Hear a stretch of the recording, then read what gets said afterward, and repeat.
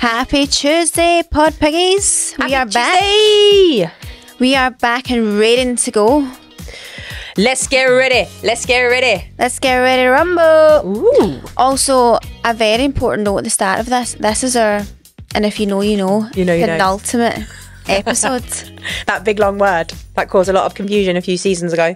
It really did. Because mm. did you not just blurt it out? And I Yeah, like, what the like, fuck "What does that, that?" mean? Yeah.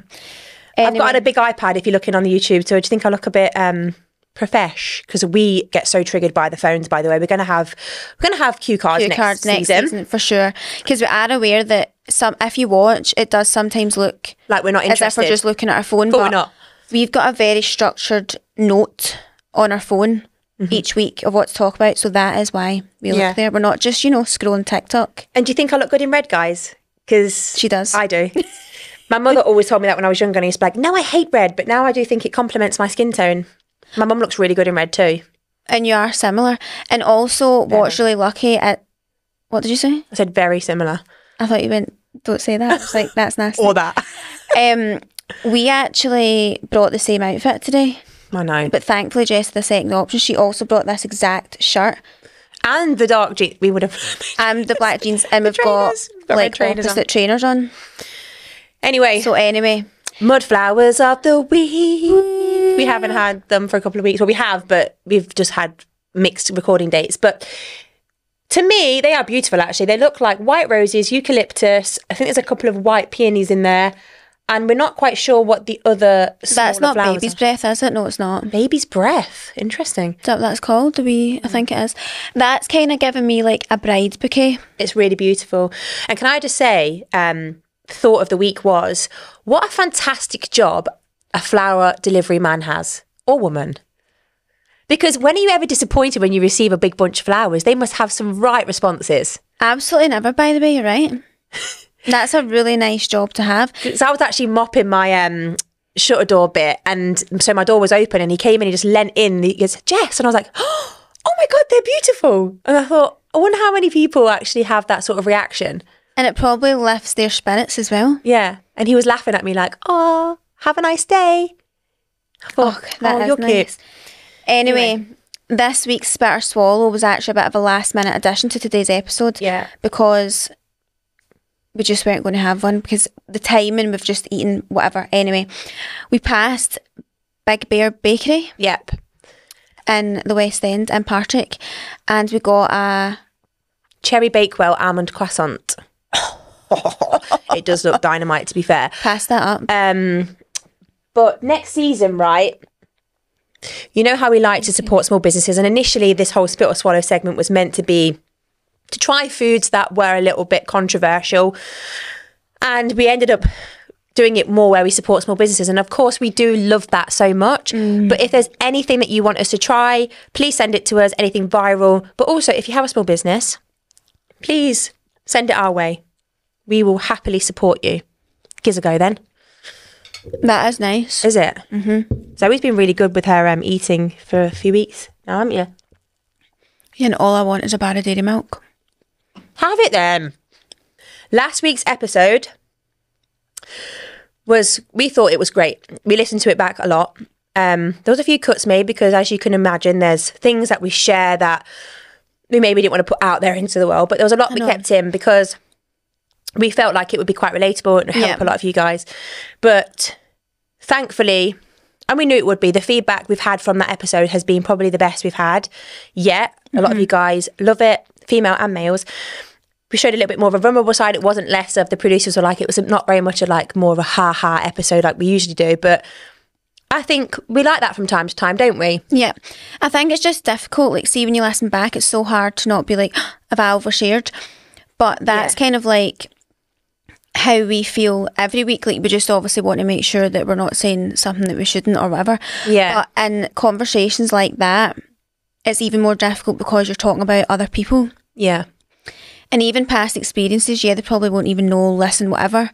But you just don't want to be too disrespectful or we're both in a relationship now. Of course. So you don't want to overshare on your current or your past because because Yeah. of that. So we hope that we were open enough Yeah, about I think we and were. I think we were.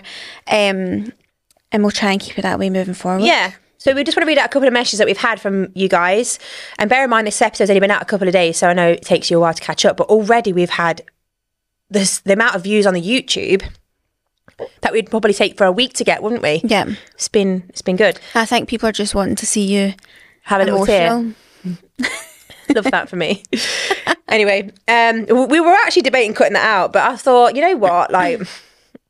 It is what it is, isn't it? Well, I said to you, I think it's nice to keep that in. It's raw.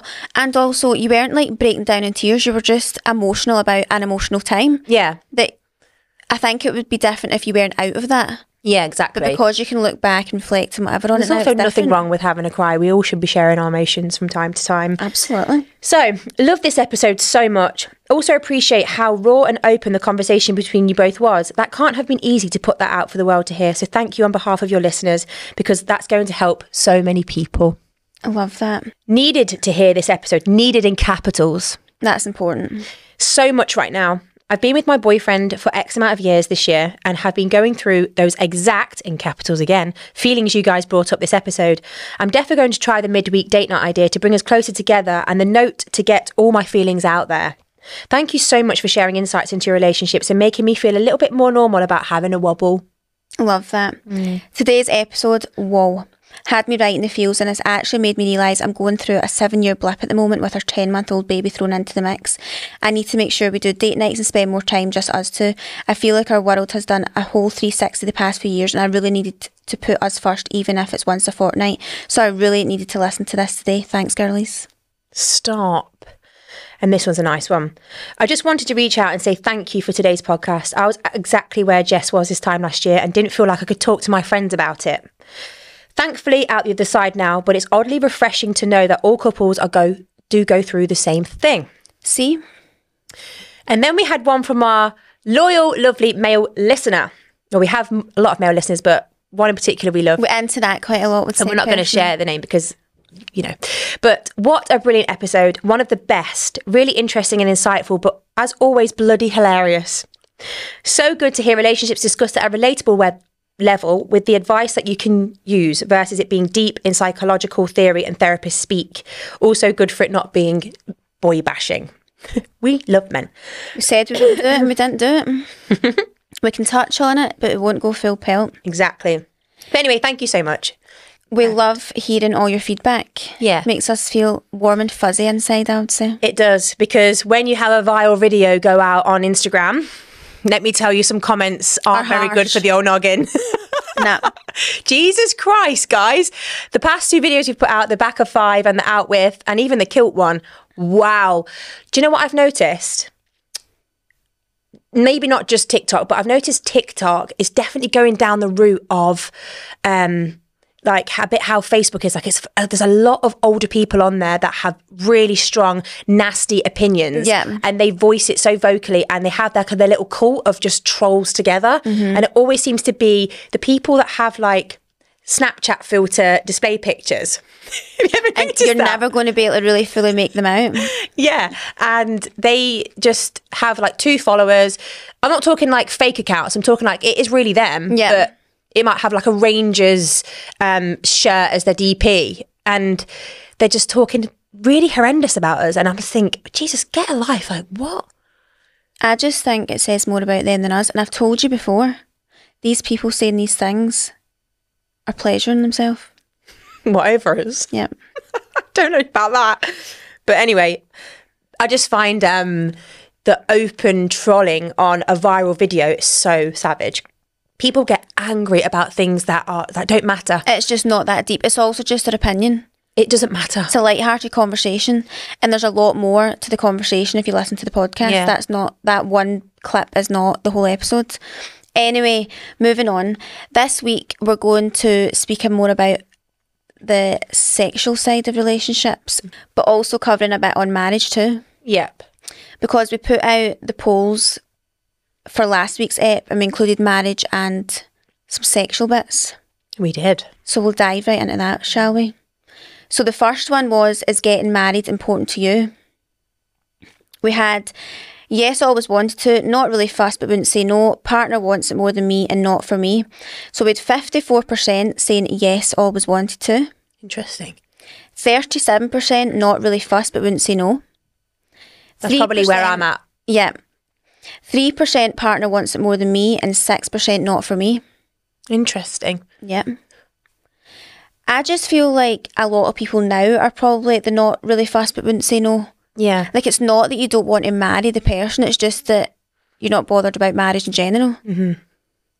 And there was a couple of messages in response to that saying, I'm a little bit different to any of these um, answers. I've been married before and I'm divorced, but I probably would marry again, or I don't see the point in marry again, marrying again. Yeah. Right, so we're just going to read out a few messages from our listeners in each uh, segment of this episode because there was a lot. A listener's message on marriage. Love this question as it's always spoke about my friend group. None of us are married but all in long term relationships. My four best friends think marriage is so important and really want it. Me, on the other hand, is not too bothered. I don't know why, maybe because I've spoke about it with my boyfriend and he's got the same thoughts as me. When you love each other as much as you do just now, why should you get married? It shouldn't change anything. Mm-hmm. Like, just because you're married shouldn't mean you love them even more than being in a long term relationship. Your love for each other should always be unconditional and loyal whether you're married or not. One of my girls says she just wants to be married because the thought of being in your 80s and referring to your man as my boyfriend is quite icky, which, to be honest, yes, that's maybe true. So, looking forward to this discussion on the pod. I call Richard my partner though a lot of the times. Yeah, you do do that actually. Check that's like came with age. Yeah, definitely. He was my BF. my man, my man. I don't know. Yeah, I would just still always say boyfriend.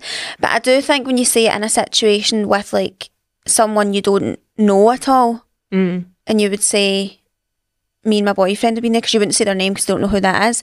I do sometimes feel a bit like, What are your thoughts, Zoe, when someone gets engaged and they start referring to them as their fiance?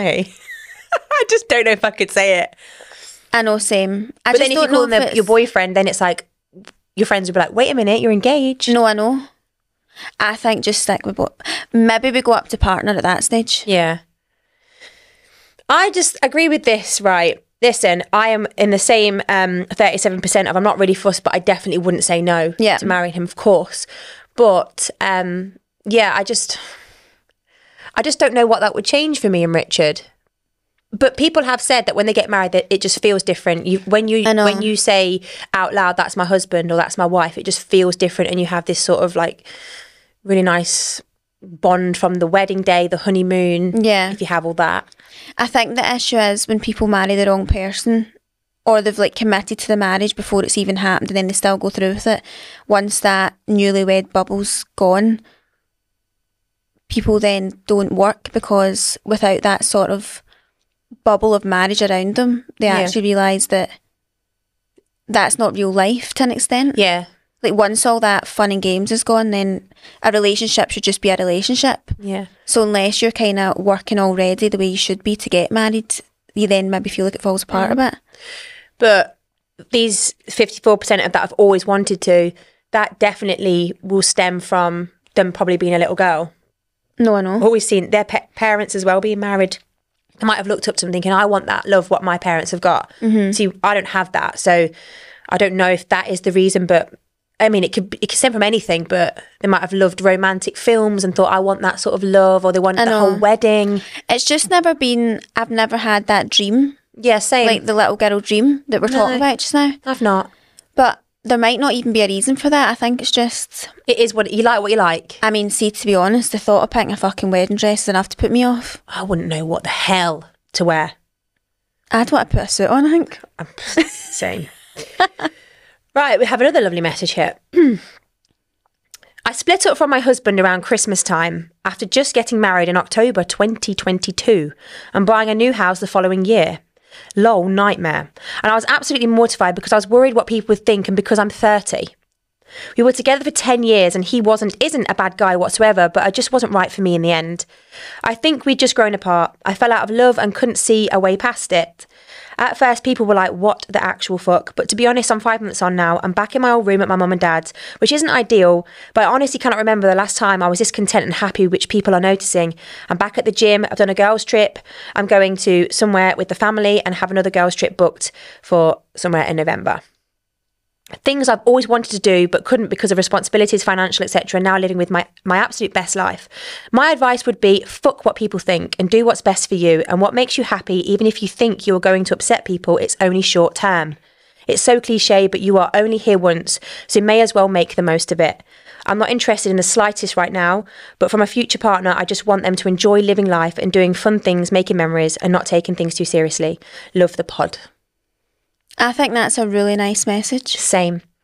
And I think that hopefully brings comfort to people too. Totally, because I'm at that age now where I've got friends going through this sort of same experience where they got married and they divorced really quick, Yeah. uh, or they have been with their long term long term partner who they've probably only ever been with, and it's quite daunting to think what is life without them. Yeah. and they've split from them and they've got this whole new life. And yes, it's not easy, but they are coming out of the other side now. Mm-hmm. And like she says, you do only live once. We spoke about settling in the last episode. That if you're brave enough, and I know it's it's easier said than done, but you will always get through the other side. Absolutely. Even if you do have to move back in with your parents or somewhere, then you will start getting back on your feet and finding your next path in life. I mean, people say a breakup to an extent is like grief. Yeah. You're grieving your old life. Yeah. And you're also grieving that person because to you, the typical the typical way to break up with someone is to cut them out of your life. Yeah. Unless there's ties there that you can't avoid. Mm-hmm. So to you, you almost act as if they are dead. Yeah. Do you know what I mean? Totally. And like even though there's social media and all that now, typically speaking, you probably won't interact anymore or you'll delete them off it or whatever. So they're they're just gone. So it Yeah. is going to be a big adjustment. It's a big change, and it will be hard whether you're the one that made the decision or not. yeah. Very it's just interesting. like the change of it that's hard. I think for Yeah. people to cope with most. no, totally. Now let's move on a little bit to children and marriage. So a couple of people messages about marriage as well, but it also involved children or wanting to have children, which I think just puts a bit of a different spin on it too. Yeah. So someone messaged us saying, not being able to have kids was a huge shock and took a long time to figure out what was next. After exploring adoption for two years, which was the most heartbreaking experience to discover that it was not right for us, having to rewrite our future and get excited for a new chapter took us through so many lows and I almost lost all hope. If it wasn't for the fact that I married my best friend and we make the most solid team, I don't know if we could have survived the last four years. Oh. We decided to make a huge leap of faith and start a new chapter in Dubai. We move in a few months' time and can't wait to have this adventure with my gorgeous husband. I'm so proud of us. Life throws us obstacles when we least expect it, and I react to things completely differently from a, from other half. But allowing time and space to heal as individuals and also as a couple has actually made us stronger than ever. And I'm so grateful I get to do life with him. Communication and allow space. Oh, that's a lovely message. It's obviously really upsetting their situation, but Yeah. they're making the best of what they can. And I think that is a great move to Dubai. It's a great place with people that um, probably don't have children or a bit more like an expat community. Yeah. And I think they'll thrive in that. Okay, so we asked for some advice from our listeners for keeping the relationship alive long term. So we actually had a message on our Patreon direct messages. This was this was nice. I wanted to sh- share some relationship advice I've given to friends before, but only when they've asked. I've been in a relationship with my husband for 11 and a half years and I've been married for five. Number one, communicate openly about expectations you have for each other, especially when if you live together. Even if you might think something is common knowledge slash sense, courtesy, always communicate whatever it is with your partner. Two, find hobbies and interests to share together, but also have your own hobbies and interests you can enjoy without them, which we both massively agree, don't we? Yeah. Three, it can be healthy to fight and argue, but only when you and your partner are able to learn and grow from the fight together I like that one. and never sleep on it. Obviously, there is so much more that goes into having a healthy and happy relationship, but those are the three bits of advice I found myself giving to others when they've asked. That's, very wise. Yes. I also like how they've said when they've asked. Yeah. because I do think because you want advice and stuff from your friends, you want to go to them. But there's nothing worse than when you kind of turn, Unsolicited advice. yeah, or like turn turn their opinion so badly that then it's just negative Yeah. Mm-hmm. every time after that. Which I feel as adults, I've not really experienced, luckily, and I hope that I don't give that off either. But I, I remember when you were younger going out with people and they would like do something and it was like, I hate them. I just hate them. And I'm like, I would never say that to you now. Yeah. Even if I thought Richard could do things better, I wouldn't be like, I hate him. Do you know what I mean? That's a, that's probably why a lot of friends, by the way, um, are afraid to speak to their friends about their relationship because Judgment. they don't want number one and their family they actually don't want their family or friends to think bad of their partner because they Yeah. might be going through a blip and there's maybe certain things said in a relationship that other people can't forgive they're like oh remember that time when he said that to you though i know. but you do always have those friends that remember the bad stuff all the time and i think that can be quite toxic i think when you just want to and they have- want to remind you of it. yeah. And all you want to do is just have a friend there just to give you some advice. Hmm. Um, but maybe that's why a lot of people find comfort in messaging us because we don't know them that deep. We'll never judge their partner. Yeah. But it is sad that some people feel like they can't talk to, you know, and they keep it with bottled up. Unless it was just all the time this person was just toxic and you're always falling out. There's only so much that your friend can take before they're like, come on, like Open you two are not made for one another. I know. or, like it's just like the person that cries wolf. They'll always you're run you're running to your friends for help and advice only when you're having a shit time. Yeah. And all it's like the the information falls on deaf ears. What we tell you, you're never going to listen to me anyway. So Why it's got to the point where I'm not bothered anymore. I know. And are you using me? I don't know. But yeah, gets like that. Another bit of advice always protect a small piece of yourself and keep it safe just for you. Never rely solely on one person to provide your happiness. You should always be your number one priority. That is so true. You like will that. never find true happiness if, well, firstly, happiness is not a destination, it's a way of life. I like that. There we go. But you have to put yourself first. And if you're not happy within yourself to some extent, you'll never really find happiness tr- truly with your partner because you're depending on that from them. Yeah. And I think that's when, like, generally speaking, that's when relationships don't work.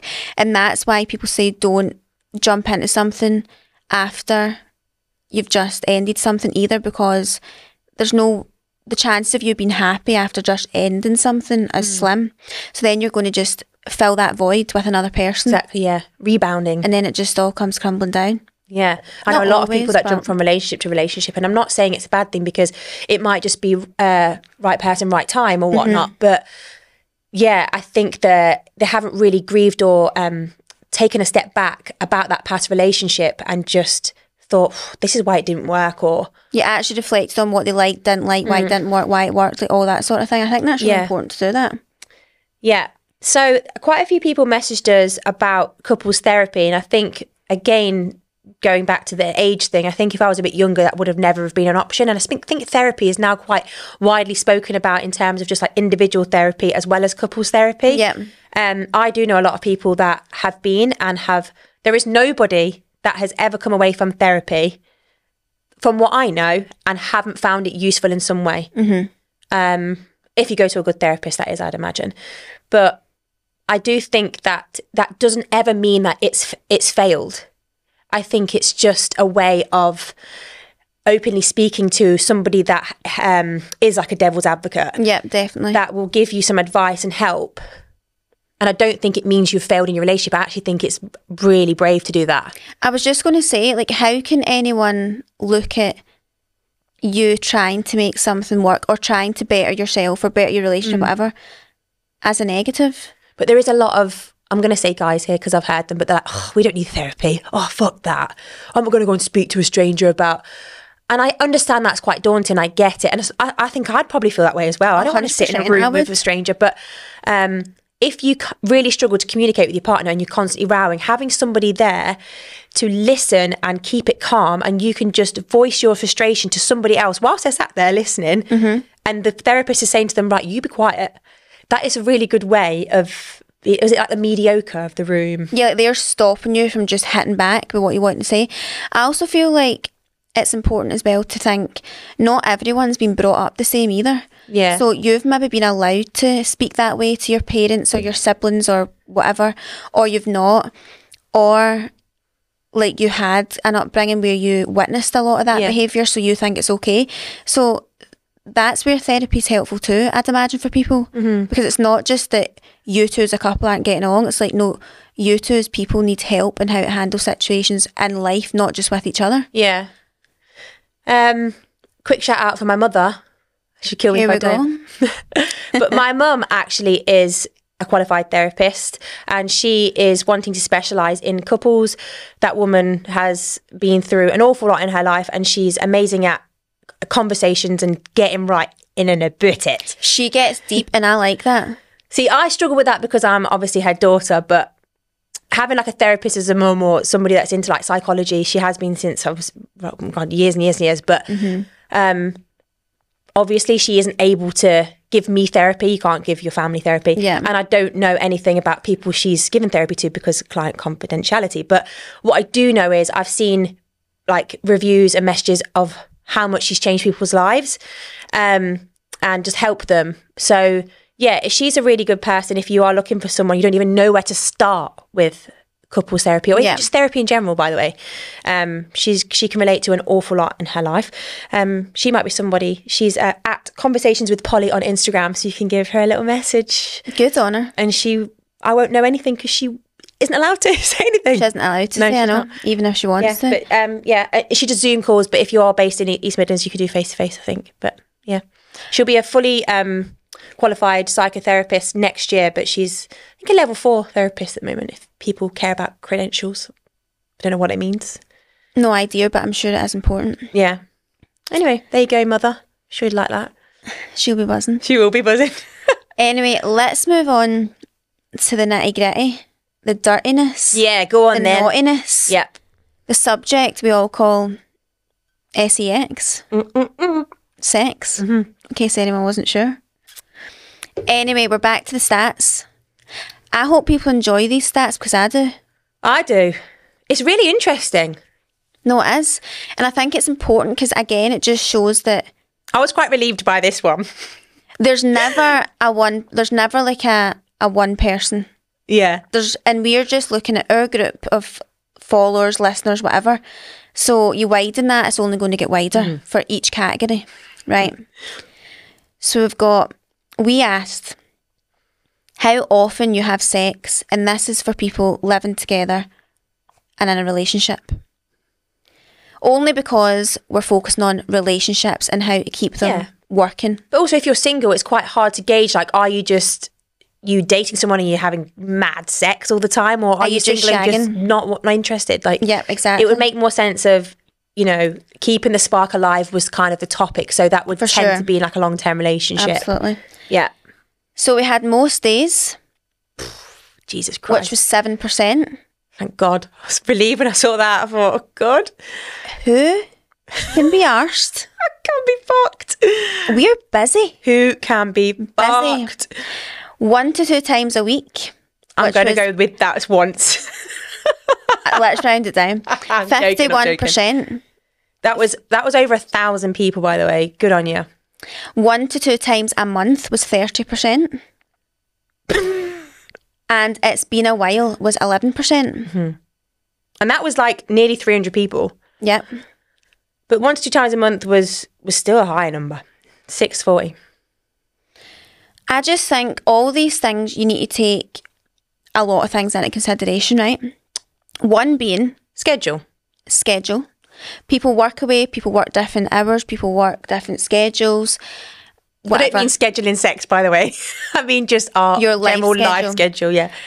You're maybe nights out, they're not, you get home, they're sleeping, blah, blah, blah. There's- Yeah. There must be at least Like shift patterns and things. yep, yeah. five days a month where you're not going to bed or in that sort of headspace together, There's right? also five days a month where you're probably on your period. Exactly, That's that's what I was going to say.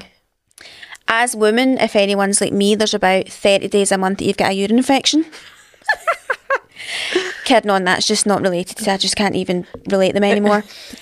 um, but then there's also things like holidays, travelling, like there's just so many different things so that if people But there's also, let's take into consideration here that they may be having a bit of a, t- a tough time with their partner. So it's not, it's been a while because They've Well, lost that. That's what else I was going to say. If you're going through a blip that you feel, or even if you're not going through a blip, right, you have a stupid argument over something, there's one or two days gone Yeah. out of a week. And then you go away with your friends for a week, or then they do.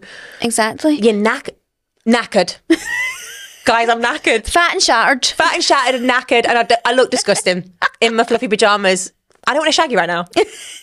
like, we all feel the same, let's not lie. We do. I know. And we did say this actually, Zoe. We forgot to ask this, but do you guys sleep naked?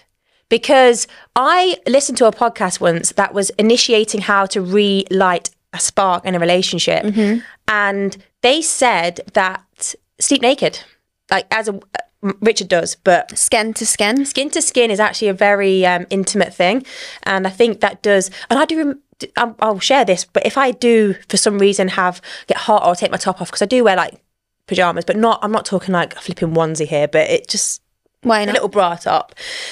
But if I do have my top off or whatnot, Richard is like, hello, hello, hello. Hello, my girls. And it does feel nice. It does Yeah. feel nice when you're like spooning away. But I think if I did that every single night, I'd be at it like rabbits. I'm sure. Don't know, maybe not. But just t- just tell us in DMs. Do you sleep naked? Do you find that spice up your sex up a bit more, or you Yeah. pajamas girly? Maybe your man's a pajama boy.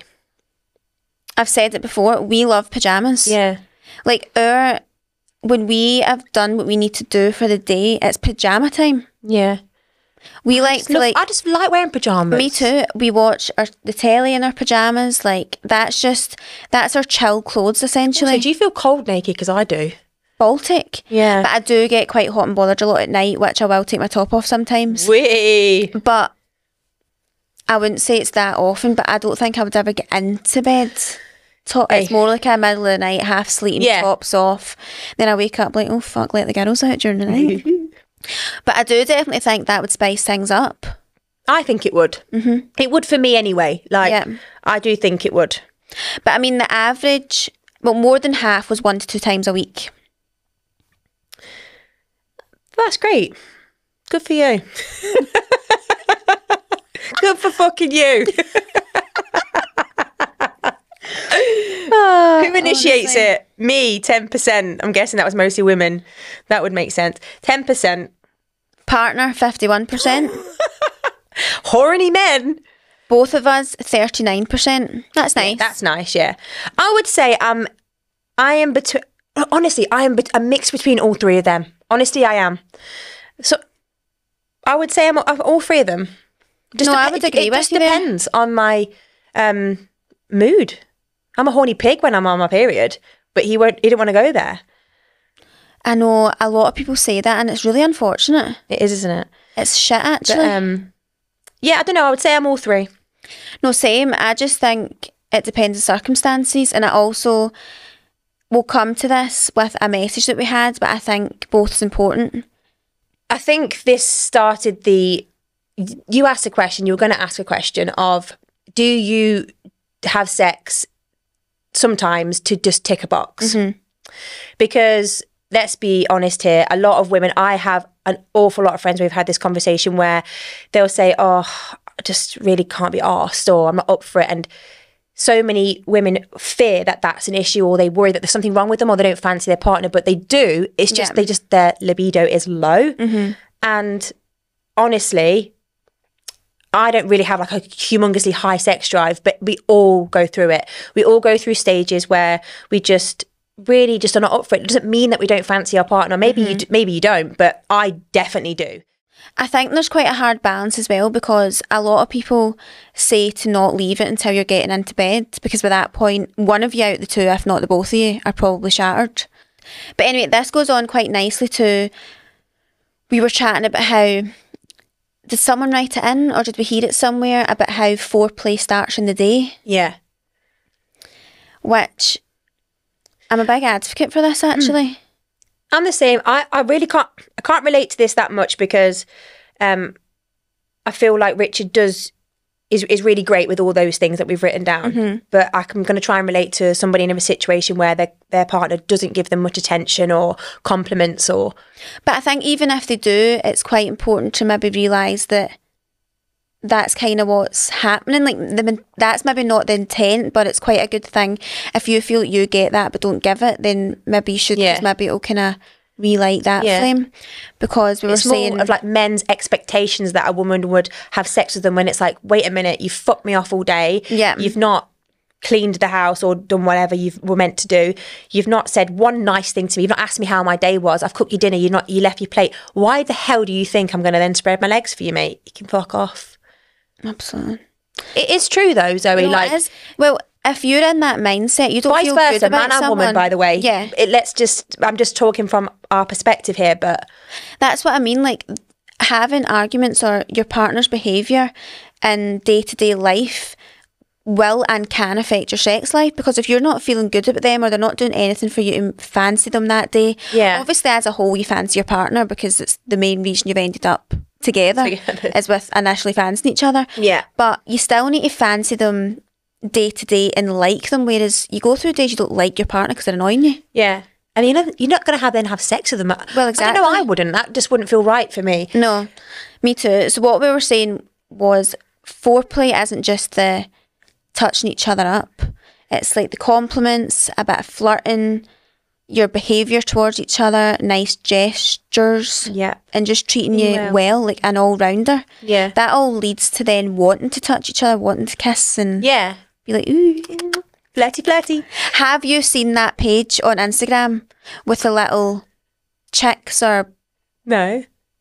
is it little chicks or ducks or something like that? And it's like um it's just all these videos about this wee couple, Yeah. but they're obviously chicks say. Yeah.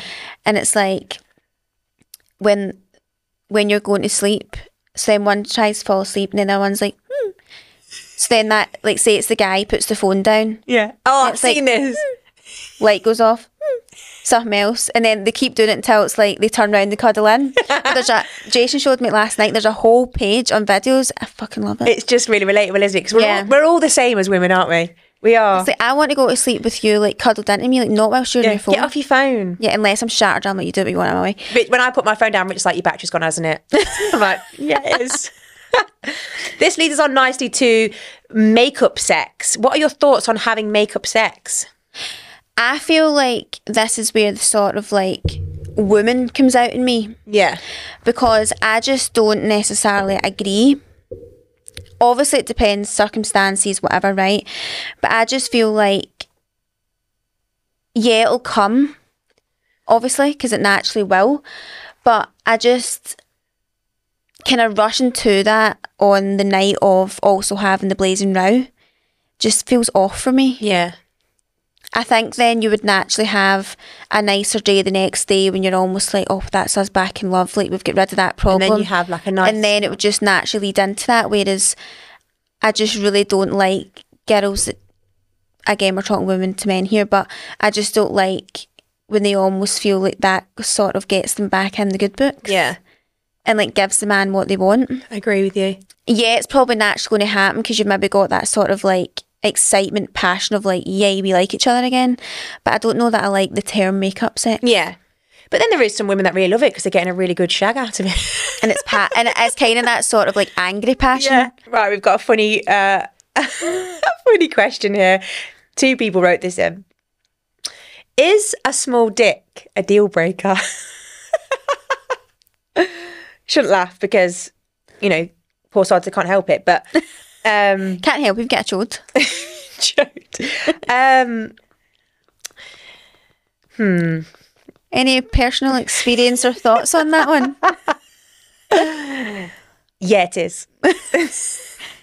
Final answer. For me personally, yeah, it was. Is. yeah. Shame, real shame. But like we say, it's a massive part of a relationship. And if it's just not there, no pun intended, Physically, mentally. then uh, it's really difficult. Um, but we had a message from somebody. Yeah. right, here we go. So I've met someone whilst travelling at the start of the year. Unexpectedly, we kept in touch and we met last met up last weekend. The boy bloody flew five hours across Australia to see me. Aww. He is so perfect, very handsome, family man, so funny, but there's just a small issue. His manhood is a little small. and I know it's not about, all about the sex, and I wish I could look past it, but I'm not really sure what I should do. Help. Oh, that's a tough one. I think it's. I don't think overall you would say it's an issue to, if you know what I mean, because it's like, well, if you don't really, if you personally don't really notice it in a situation, or it's not actually tiny, you maybe Yeah. just think it's a bit smaller or whatever. No, But how But- small are we talking here? This is the thing. Like, No, I know, like a micro penis. I don't know. How can that physically go in a hole? I just don't want to be mean because I know it's like they can't help it, and that's a real shame. It's not like like you know, like people that have a flat chest, they can go and get a boob job. I know. I do feel it's really bad. Like Can you get a, a willy job? Willy growth? probably Turkey, but I don't know. To answer her question, um, I feel like there's other ways that you can be in a relationship with someone. It doesn't always have to be like penis penetration. You could ha- you could experience things differently. Well, that's what I was going to say. See if it doesn't affect your attraction to them. Yeah, that's a shame. I don't, I don't know. I know it's quite a hard one, right? But see if you're still like, see if that happened. Then once you found that out, you were looking at them and all you could think about was "fuck, he's got a small dick." Mm. That was too much swearing in one. I'm sorry. Then there's your answer. No, you can't see past it. But even your nice words about this person, Yeah. you're quite clearly still into them and attracted Yeah. to them. So as you said, is there ways around it? Like, can you get Yeah. a toy and just pretend it's the willy? Totally. Yeah, maybe you could That's an option. that. I mean, the guy's going to know he's got a small willy if it's small enough for you to. Yeah, if it's Worry really about- small as you're making out. Yeah, So I wouldn't say end it just yet, honey. I would say if he if he's all he sounds like a really nice person. Yeah. then definitely just keep trying Persevere. other ways. hope that you wake up one day and it's bigger. Hey, listen, on Lovehoney, there's some massive dildos you can. right. We had a really good message here about the importance of keeping sex alive in a relationship um, from a female point of view. I think it's so important for both people to make an effort with sex. Being the only instigator and rejected on a regular basis. So, this is a woman speaking here. Okay. Whether their reason is because they've got an early night get up, they are tired, or simply not in the mood, it can be absolutely soul destroying when you are just trying to keep the physical love alive. I think sex is crucial to a loving, healthy relationship and can be so much more than just a physical act. Thank you for letting me say my piece. I love you guys and the raw honesty on the podcast. I think that's very valid information. Hearing it from a female perspective of being the one that was rejected Yeah. I mean, we don't hear that often because I suppose we're not really speaking to guys where they're saying, oh, my, my partner doesn't want to have sex with me or whatever. But it also makes you think about it from a guy's point of view as well, because as we've said, typically speaking, the guy Is the one. initiates it more, is pushing for it more, is probably more up for it day to day. So it's like they will feel that too. yeah, eventually, if it was constantly getting rejected, yeah. And I It can't be very nice for your self esteem and also just thinking, like, what's the point? I know exactly, and I think that's actually important to keep in mind. Like, as a woman, if you feel that you maybe do the rejection quite a Yeah. lot, then try and use some of our advice today to sort of spice it up and just give it a fucking good go. Give them a good ride. Ride your life. Mm. Right then, how to spice up the sex life. Spice it up. Get it going. Keeping it alive. Do you know what I think's just come into my mind? I think it's really important. You never know when the last time you're going to have sex is. And I'll be at it all the time. Um, let's actually mention, like, let's say you do have a low libido, by the way, because a lot of us women do. Maybe uh, Libido. libido. It's quite an official word. Yeah, but it is what it is. Like your sex drive. Then let's. Th- there is way. There might be reasons as to why that is. By the way, so um, I believe you. It's worth getting your hormone balance checked. I think that's something that you can look into. Um, and what sort of things like alcohol? Can I know the next day after alcohol we're all up for it, or at it? Meanwhile, Why is everyone up for it when they're like pure smelly and hungover? You're sensitive? It's a thing. Yeah. You need the va- you need like all the validation you can get. Sensitivity and neediness. I think. Um, contraceptive pill can be quite bad for lowering your sex drive. Yeah. That's a common one. It is. Yeah. I mean, I've not been on it for years and I don't have a humongously high one, but I know it's helped for a lot of people. Yeah. Um, but yeah, there's have a look, little look into it. Again, we're not experts, so we can't really speak on this. But that aside, let's just say there might be there might be a reason. But to keep it alive, things that I've done in the past or friends have done, um, more date nights. So date nights, dating one another, have a nice intimate date, like we said last episode, weekly. After that, when you come home, you're way more up for it then. I also think that kind of takes you back to the stage where, say, you're living together now. When you do a date night like that, you should be doing them anyway, right? But that's what you used to do when you're first going with someone. Yeah. And that is probably when most people I know are sexually active with their partner, is when you're first together because you just want it all the time. So that I feel like that kind of keeps it alive because you almost feel back to those times. Yeah. And you've got that like excitement again. Yeah. And you've had a really nice night out together. So you, you want to go home and like end it off in a saucy way. Dressing up, nice underwear. I mean, if dressing up in a full on outfit's your thing, then honey, go for it. Nurse's outfit, devil's outfit, whatever. I, however, would feel like a big twat. I would walk in pissing no, myself. Yeah, there's no way that I could do that seriously. No. I'd be like scurrying in like hee hee hee hee. I would just Baby feel voice Yeah. used to go. I would just feel like I'm your child and I'm dressing up to be like my I'm putting on a show for you. Whereas I know you should be putting on a show, but it should be sexual. yeah. I just couldn't. I, I think I'd piss myself. Um, But I do definitely think if you've got a nice overnight, or even see if you've not got the financial benefits of going out on out on date nights a lot, make a cute dinner, stick a candle on the table. yeah. Like make a nice meal that you maybe wouldn't typically have during the week or whatever like that. Stick a nice movie on, candles round the house or whatever. And then tell them something naughty across the table. Exactly, a wee whisper. But the underwear thing for me is like, see if you want to spend 80 quid on a nice underwear set for me. yeah. Feel Because they're expensive, aren't they? Exactly. You feel free. You do that. I'll put it on. Off in two seconds. Off. Pointless. That annoys me. So buy crotchless. If you want on. me to do that and for it to be beneficial, it can't have pants in it. Keep them on, boy. I feel like shower sex is nice. Um, I feel like shagging in the shower. especially like if you're in a hotel or whatnot and you just get up in the morning. Just, listen, they're in the shower, just go in. You're getting a wash anyway. Invite yourself in. Join them. They're not going to say no. Well, they might. No guy In the right mind. Well, there you go. No guy, I think, would be in the shower and not welcome you in with open arms. They'll be saying, soap me up, baby. Yeah. soap me up, baby. Soap me up. That smell of raspberry bubbles is gorgeous. Soap me up. Right. Introducing. What I will say is, by the way, Yeah. what I will say is, if you're having sex in the bath, be careful. Be careful. Because before you know BB it, that it. head is under. What head? No, Jessica. No. the head's with the face. Okay. Okay? Ooh. Right, right. Right, introducing toys into a relationship. We put a little poll out there. Thoughts?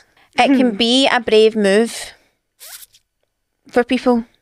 It can be, and it can be intimidating for a guy to, you know, for you to ask a guy to, go, can I bring in a sex toy into our relationship? They'd be like, what do you need that for? Am I not good enough? I know, I think it definitely has a sort of like, Bit of a manhood thing. yeah, I feel like a lot of guys would definitely get the impression that then they're not really delivering on the. But that's actually not the, case at all. not at Not all. for me, anyway. I think, I think especially if people need something to spice up, that's a good avenue to go down. Yeah, But anyway- it feels brilliant. it does. Try it.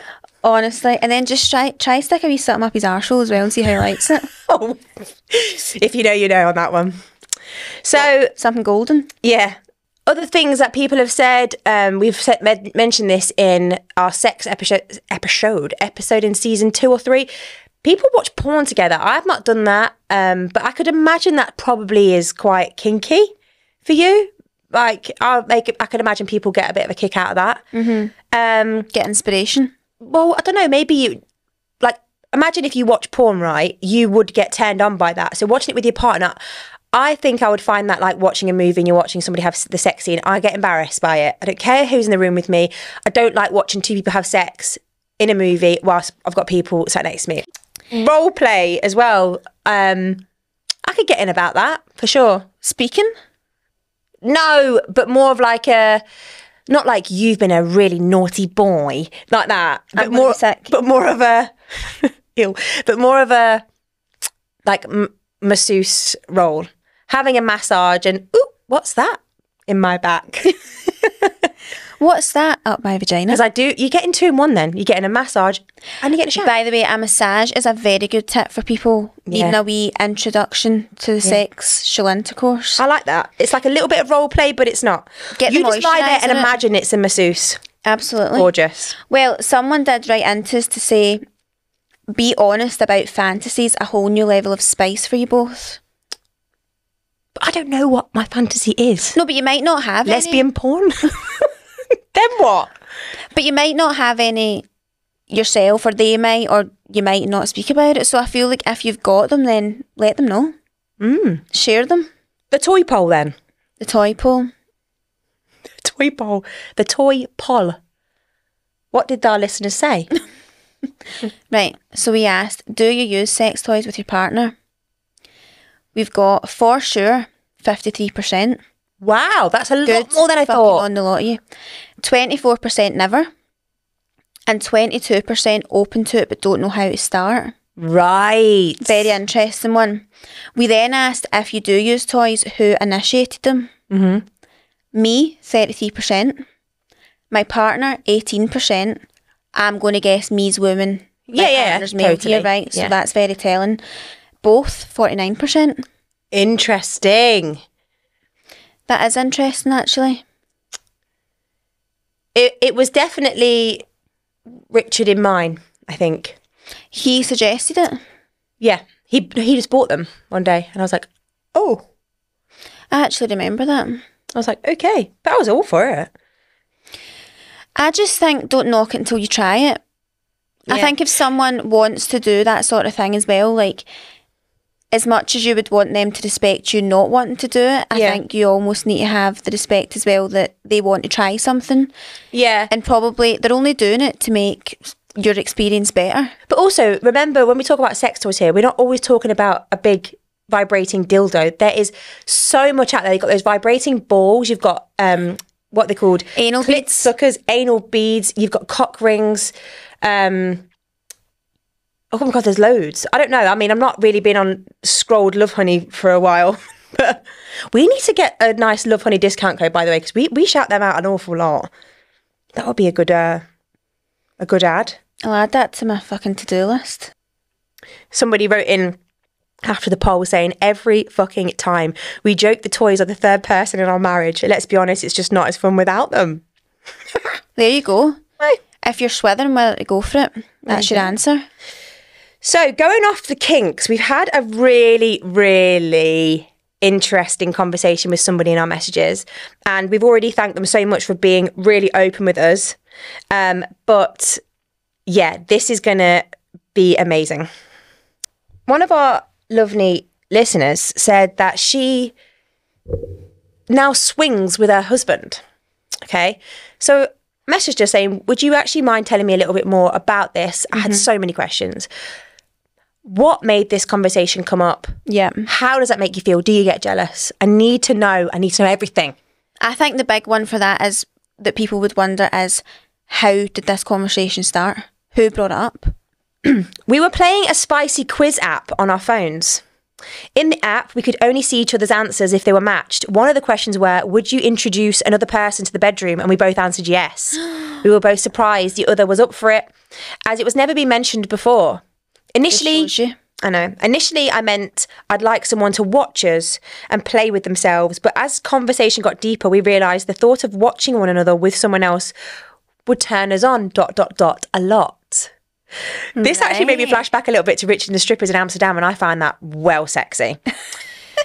we had watched the Open House series and signed up to the Swing Hub app. Swing Hub app, great for making sure everyone is genuine. No fake profiles. We started talking to a couple on there, which we was we really clicked with. Arranged to meet them three months later. Drinks with potential to play, if everyone felt okay. We got back to the hotel room, played sexy truth or dare card game, and got started. When I see my husband lick the other woman's See it. pussy, it sent me wild. No jealousy at all. Whew. I was nervous I'd be jealous, but we had all agreed if anyone felt uncomfy, we would just say we wanted to stop. Communication is the only way this works. Communicate every thought or feeling, and if something crops up that we didn't like, we just talk it through and make sure it doesn't happen again. Before this, I would have thought seeing my husband touch another woman would have ruined me, but it's actually been the complete opposite. I suppose you know, never know till you try, eh? Um, so anyway, I obviously had to go in a bit deeper. We need more. How often do you bring someone else in? Right. And do you each go off with a different partner or you're you having a threesome? Okay, yep. We both have our own businesses and have three kids. So life only allows us to play two or three times a year. Right, okay, interesting. Quite often we meet the same couple. So we prefer to meet couples rather than just another woman. We fully swap husbands and play with the woman. By this, I've learned I am bisexual at the age of 37. Good fucking on you, hen. My husband is straight though, so he only plays with me and the other woman. Always in the same room, fun. So they're having like a, a gangbang. Gangbang? Well, don't know. What would you call that? So I said, this is iconic, and I'm really interested. How did you find the couple? Um, so they already answered that question in the app. And are you in an open relationship now, or are you just agreed to swing these few times a year? Right. And she put, we found them through the Swinger Hub app. It's like Tinder for swingers, I suppose. They have an Instagram page if you want to look at it up. no, we are not in an open relationship. We only play together in the same room a few times a year. I love talking to you about it as none of my friends or family know. So I don't ever get a chance to speak about it ever. And by the way, I did ask her permission to speak about this in the Yeah. podcast and she was absolutely fine. We have played sober before quite often. We play via WhatsApp videos and pics with other couples. A few drinks is good too. Drunk sex is always more wild, isn't it? And yeah, she just then went off to say like a few other bits about the app and um, you can't screenshot it. It's all private, this app. Three strikes and you like get blocked from it. That's good. And there's a swingers club in Glasgow and one in Edinburgh. And I need to know what this is. Intrigued. That is really quite interesting. Yeah. So um, fantastic. Absolutely love that. And again, if that's your thing, if you, go for it. Like she says, don't knock it till you try it. The only thing is though it's risky, isn't it? Like imagine one of you just you Well- tried it, then one of you just couldn't. But I said that to you. A friend of mine's parents mm-hmm. years later went back to the person they swang with when they were younger. Yeah. or you just couldn't get over it and it just felt like you couldn't get that image of seeing them with someone else out your head. Yeah. Because I remember being at school and if I just always, you know, you hear those mad stories at school and it was people like they had a threesome with their best pal and then they couldn't look at the best pal the same and I thought, no wonder. Jesus Christ. Anyway, Um, right, now we're just going to end with a few other messages that we've got. Wrap this episode up. A few random questions. So the first one, so my question was whether to keep following someone on Instagram who you used to date. I don't know if it makes too much of a statement if I remove him as a follower slash stop following him. Does it show that I care enough to do that? I don't want to give that impression. There's also a part of me that wants to see him doing well and show what he's missed out on, but that's toxic, I know. And does he even care? Probably not. Thoughts? So is she seeing someone else now or not? She's not mentioned that, but I think the issue here is right. You've been dating someone enough for you to think about it, right? And you've still got them on social media. Is removing them just like you look as if you care? You don't want to see what they're up to because it affects you, but do you still want to have them? Because equally, you're also not interested in the life Yeah. anymore. And is it then awkward when you do both have a new partner? It's a weird one because I suppose I can't really relate to that because I've been with Rich so long that Instagram really wasn't a thing before I know. him. So, I mean, if I split from Rich now, then yeah, I would remove him because that would be it's a lot deeper than that. Do you know what I mean? and it'd be hurtful to still see. I think if you've had feelings involved and you were upset that something ended, uh, as much as it's quite deep, I think you should remove them because I think that constant reminder is then going to be hard for you. to or you could over the mute them. You Yeah, could mute their stories and posts. but just stop them from be- being able to come up. But equally, I do know what people mean about does that look as if I care? I think it looks like you care more if you unfollow them. I know that's what I mean. Well, I don't know. Actually, two two ways. You could be like, they might be thinking, oh, she didn't give a fuck about me. She didn't me. I don't actually really think I follow anyone that I've been involved with in the past. No, I don't know if I do either. But again, if you were kind of like before like the time of it really being that big a thing, or I also feel like when I got into like an ex relationship, in that age that I was in, I was kind of like get rid of all the past. Yeah, maybe there is definitely people on my Instagram though that I've like been with before, but not like dated. Like, No, I know, you what I mean? same. Like a uh huh. Like you've maybe whatever, had you know? a bit of a fling with or something Yeah. like that. But I think maybe like proper seeing kind of situationship, relationship level. I guess it depends how it ends, doesn't it? I know. If it ended like amicably, then there's no reason why you should just mute him. But if it was like a real toxic ending and you still like him and he left you, then I would probably just unfollow him for your own. From Sanity. this message, I get the impression that she's maybe still slightly interested because she said Yeah. show what show him what he's missed out on. Yeah, yeah, okay. You've still got a bit of interest there. You care Yeah. about what he sees, thinks, and feels. I agree.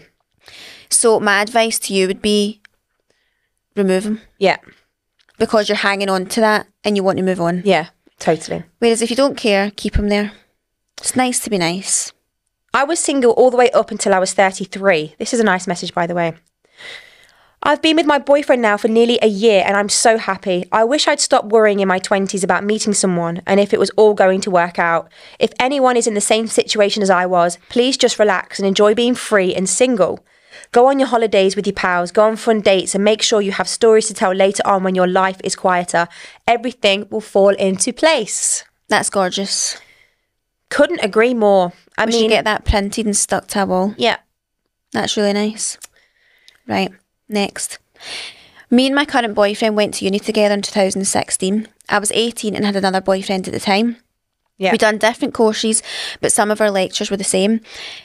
He was one of the few little boys in the lecture hall, and I said to my friends, Oh my God, who is he? she needed to know. Couldn't stop staring at him. I remember having a feeling that I was so sad I didn't know him. My mm-hmm. friend is, had told me it was her friend's ex boyfriend. I don't think she told me his name.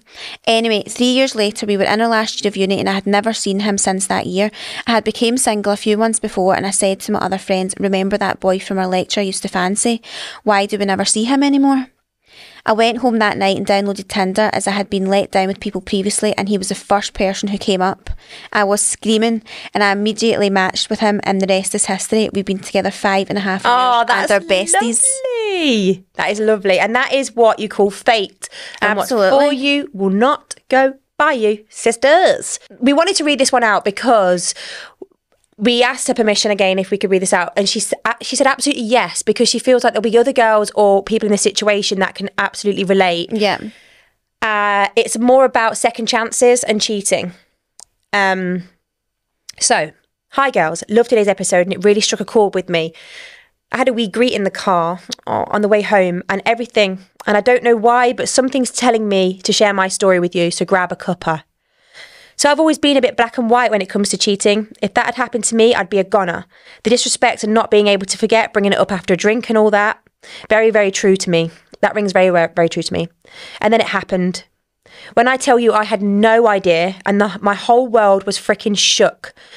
We had been married for 10 years in December and together for 12. A bloody beautiful marriage as well. Great sex, good job, no arguments, and the best of times. And this dumb ass motherfucker, in brackets, sorry, downloaded Tinder. He used someone else's photos, got chatting to a girl over four days, and then ghosted her. By this time, he'd added her on Snapchat, in brackets, ick. What the fuck does a 35 year old man need with Snap? and she then knew his identity. I don't know if she was pissed at being ghosted or being a real girl's girl, but she found me on Instagram and told me. This was in August last year, and honestly, I'm not okay most of the time. I was so black and white, and now it's all very, very grey. I love this man, our life, and everything we have built, but he has fallen arse over tit off the pedestal I had with him. He fessed up straight away, he owned it, and sent himself to therapy, where he's been going weekly ever since. He has a history of being reckless, impulsive stuff, usually money related, but has always landed on his feet. And I think this is the first time the consequences of his actions have truly been bitten, bit him in the arse. I take some, in brackets question mark, comfort that he has realised what he's doing and cut it all off after a few days. But I don't know if it if I'm naive to think it's the only time he's done it.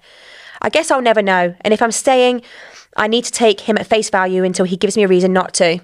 Trust him until you don't. Yep. I meant my marriage vows, and for me, marriage is wise. If it's not him, it's not anyone. So here I am. Some days I'm doing okay, and others not so much. He is trying, and I know this, but I look at him differently now. And as I said, it's such a grey area, and I don't know what the future holds. I'm trying to be more independent, which I've which I've never really see, been great at, because I've been with him since I was 21 and prepare for the worst, hoping the best, but who knows. If you have any advice, I'll welcome it, but just wanted to share my experience of where I truly never ever thought I'd be in this position, and that if it was to happen, I'd be a bad bitch who would wash that man right away out of her hair, but yet here I am. Staying with a man who's disrespected me in the worst way and feeling weak as fuck, like I'm letting myself down by doing so, but feeling loyal to my vows and the promise I made in front of all of his friends and family. Anyway, thank you for coming to my TED Talk and keep on smashing it. Oh, so That's a hard one. I genuinely feel that you should absolutely not feel like you're letting yourself down because, like you say, you did these vows Yeah. and you stick by them. And I think we've said before on a podcast, I do genuinely believe in second chances. Mm-hmm. I would, however, agree with you in the sense that I would probably feel naive enough in the fact that is this his only thing he's done because that's quite a like going on Tinder and It's quite a random act to just do once and in that one time so unluckily get caught. it was like he was so he wanted to crave this sort of attention mm-hmm. or wanted maybe a secret little affair then did it by a false identity shat himself ghosted this woman realized maybe he was making a mistake Yeah. and didn't get away with it but he's took himself to therapy which a lot of men wouldn't he's got a history of being reckless and like she says this is the only time where she thinks he's not fell on his feet he's been caught out she, mm-hmm. he's thinking i'm going to lose the best thing that's ever happened to me Yeah. I do strongly believe in second chances, and I believe that he can come away from this, especially if he sounds like he's got underlying issues. Yeah. I think second chances are a good thing to give when the person who needs the second chance realizes what they've done Yeah, and is taking action. Like a lot of guys in his position would not have took themselves to therapy over No. that. And they just wouldn't have they would have just thought an apology would be enough. I've not actually physically done anything, it doesn't matter. yeah, That's still cheating. And also I think as she said, it does realise what the consequences of this could be. But my advice, I think if it was me and I was feeling the way she is right now, would be to just give it time. yeah, And I know she said she can't really look at him the same, but that might change if his actions keep changing for the Exactly. positive. But I think if you get to a certain stage and it's just never going to be something you go over, it might you might need to look at it differently. yeah, totally. I think you, it is possible to work through something like this, Yeah. um, especially if there was, as you not aware, but there was no physical cheating, as what is what you're aware of, which maybe softens the blow slightly, but um, either way, there is some women out there, and that's honestly fair enough. They could never forgive. And that's just their decision. But if if this is a decision you've done and what you believe is right, then that is the right decision. Don't Yeah. feel like you're letting yourself down just because other people feel differently. That's what you want to do, and put your trust in that decision. But if he does it again, then definitely wipe the flipping floor with him. Get him to funk. Yep. Right, well, I think that's us covered all bases of relationships. Woo, there's a lot to unpack. I know. Um, if we were having this chat earlier over coffee, but we were quite intrigued in if you've found out somebody's having an affair, like how have you found out? If you've been cheated on, have you sat and digested this information and come back with a big like revenge and or have you your head's gone and you've straight away messaged them, rang them? Like I really like hold my hands up to these women that can really watch something go on for a, a weeks if they know someone's having an mm-hmm. affair and then get all their information then boom. Yeah. I couldn't. I'm a hothead. Mm, I think I could do that. What weeks Maybe not weeks, but I would always approach the situation calmly. would you? Yeah. Oh no, I'd be. I'd be a very that like, blower. I've just to let you know, I've just found out Yeah. That this has happened, and I'm just letting you know that I'm just about to pack my bags, and I'll be away, And you'll never see me again. and I'll put the keys to the letterbox, and that's us over. So have a nice life. Iconic. I could definitely hold that together. Yeah. Obviously, inside, I would be like, "Rah." Yeah, totally. but. I would like to know. I would like to think I could act like that, but my emotions would be gone with me. De- Again, depends on the situation. Mm. I know exactly. But what I would like to know is if you have found out that your partner's cheating, have you messaged or contacted the other cheatee Yeah, if they've got a partner. or told their partner that they were being cheated on with your partner? Do you get Or what I mean? are you having an affair and you've been caught? Yeah. Tell us. It, we won't tell anyone. It's Yeah. anonymous. And just tell us like any mad revenge shit you've done, even if it's maybe not as deep as an affair Yeah. or it can be a past boyfriend story. Yeah, something that crazy that you've done just Yeah. to get some revenge because we've got some great. I've got some great ones from my friends that they've done, but we're going to save this for series Five. five. Can you believe it? Yeah, Five. So message it. You've got you've got a, f- a few weeks. Mm-hmm. Well, that was lovely. That was great. I hope you guys enjoyed that one and again found it helpful. An extra long one for you before we leave you for good. We're coming back. I'm only joking. Right, well, we'll see you on Friday if we see you on Friday, and if not, we'll see you next Tuesday. Mm-hmm. Bye.